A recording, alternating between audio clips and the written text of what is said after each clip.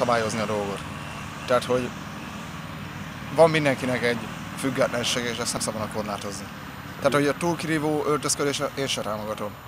De Nem a tilalom ezzel a nagy megoldás. hát így van.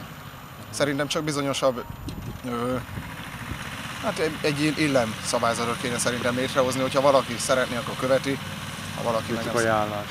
Igen, Ajánlást. igen, igen. De én semmiképpen se szabályoznám, mert ettől jobb nem lesz ez a szerintem. Aha, nem.